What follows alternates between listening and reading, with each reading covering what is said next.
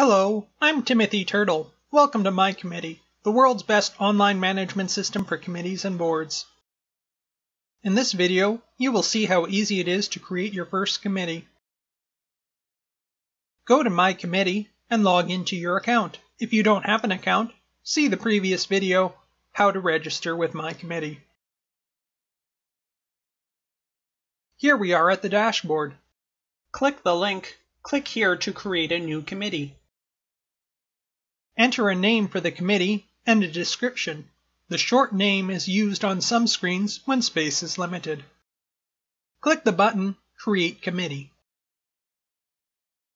You will see the settings screen, which is covered in a separate tutorial. For most committees, the default settings will be fine.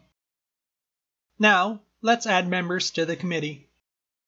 Along the top of the screen is the menu bar, Click the tab People. Here is where you add members. Please note that the committee creator is listed as the chair and the committee administrator by default. There must always be at least one or more registered chairpersons for a committee. To add a new member to the committee, click the button New Member. Enter the name and email address of the new member.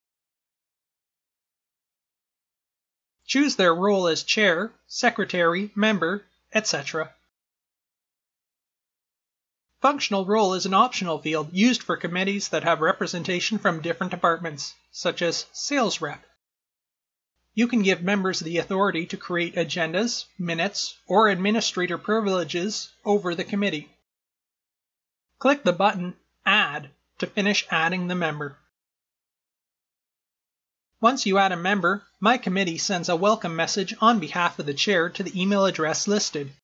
If the member is not already registered with mycommittee, this welcome message includes a registration link to help them create an account with mycommittee. Because you have entered their name already, all they will need to do is enter a password. When the new member logs into mycommittee, they will see this committee on their dashboard. Here is the dashboard. You can now see your new committee. Click on the committee. This is the overview page. We will show you how to use the overview page and other pages in the video using mycommittee. Thank you for watching the video tutorial, How to Create Your First Committee.